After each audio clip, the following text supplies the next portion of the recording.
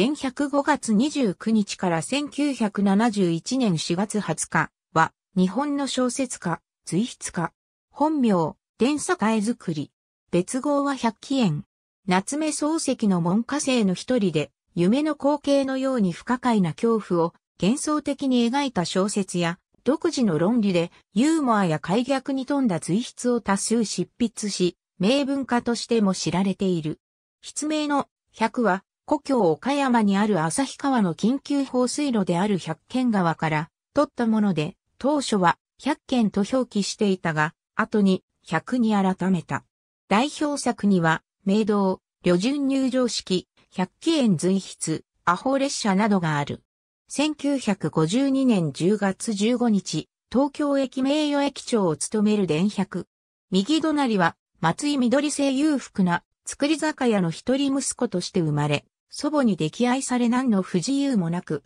育ったため、わがままで、頑固、偏屈で、不愛想な性格であったと言われる。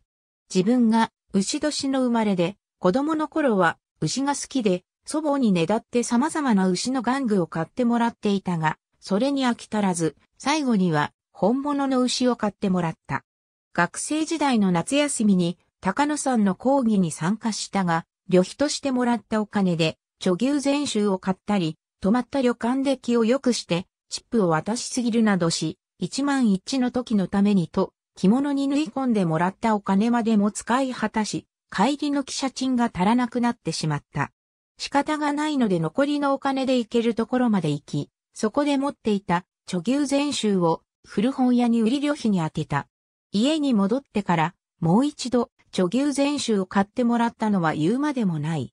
このような環境や性格が後の百の独特の論理や考え方、作品や生活に影響を及ぼした。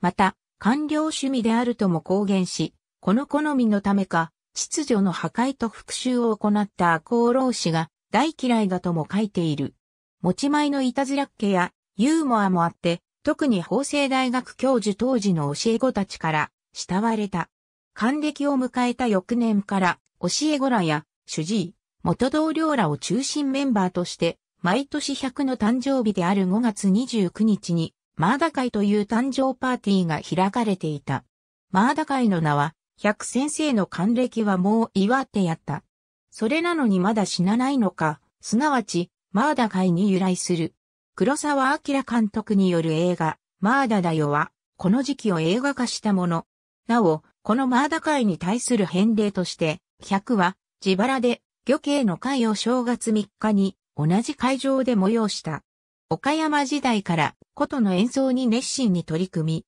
上京後は、春の海などの作曲で知られる、宮城道夫に指示した。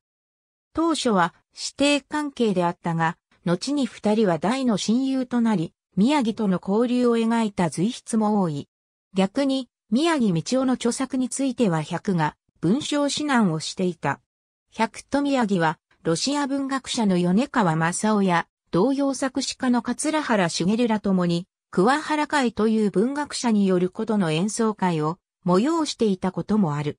桑原には、草原の意と聞いたものが恐ろしくて、桑原、桑原と言って逃げ出すという意味があった。1956年6月25日未明、宮城が大阪行夜行急行、銀河から転落死した後、100は追悼の意を込めて遭難現場となった東海道本線刈谷駅を訪問し、随筆、東海道刈谷駅を記している。鉄道に関しては、目の中に汽車を入れて走らせても痛くないというほど愛しており、国鉄職員であったヒマラヤ山系こと平山三郎をお供に全く無目的にただひたすら大好きな汽車に乗るためだけの旅を実行。それをアホ列車という鉄道機構シリーズにまとめた。後に南蛮アホ列車を書いた作家の阿川博之、鉄道機構作家の宮脇俊造も自らの先達として100を挙げている。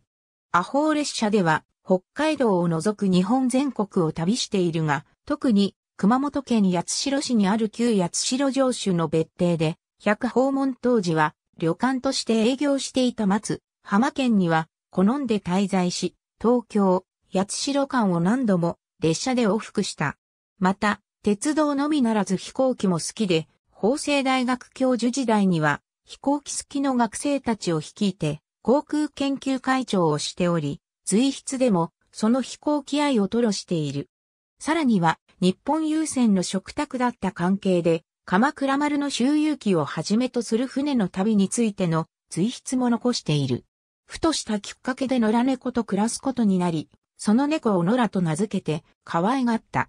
野良が失踪し行方不明になると、その安否を気にしてかわいそうで1日中涙が止まらず、何事にも手がつかないほど憔悴し、新聞に迷い猫の案内広告を出したり、2万枚のビラを作って町内に配るなどした。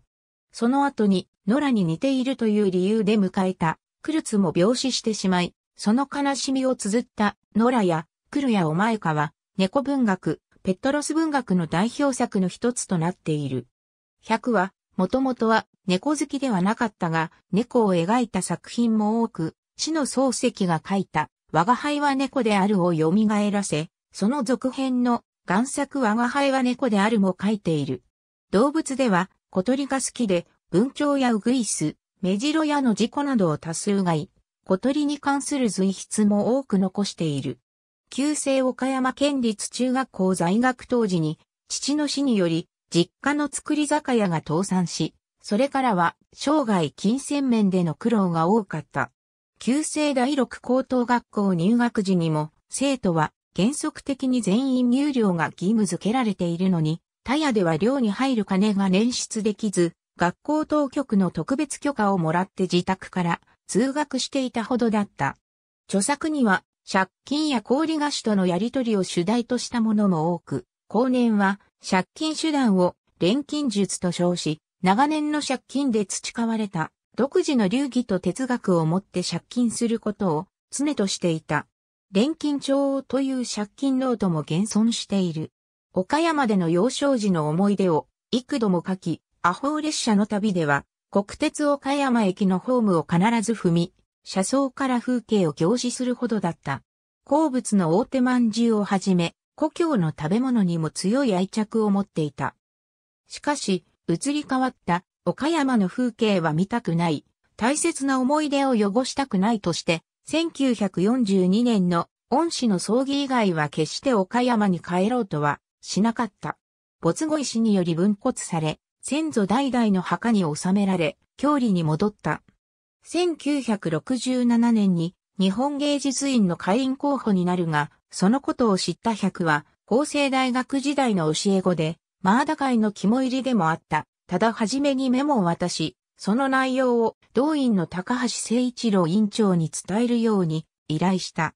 メモには芸術院に入るのは嫌で、なぜか嫌かというと気が進まないからで、なぜ気が進まないかとというと嫌だから、ということが記してあった。推薦段階で辞退した文学者は、百の他に、高村光太郎、大岡昌平、武田大順、木下淳二がいる。また、戦時中には、中里海山と共に、日本文学法国会への加入を拒んだこともあった。執筆においては、旧字、旧仮名遣いを原として古種し続け、著作物はすべて旧字、旧仮名遣いで刊行されており、没後の出版においても百件の意思として旧仮名が守られていた。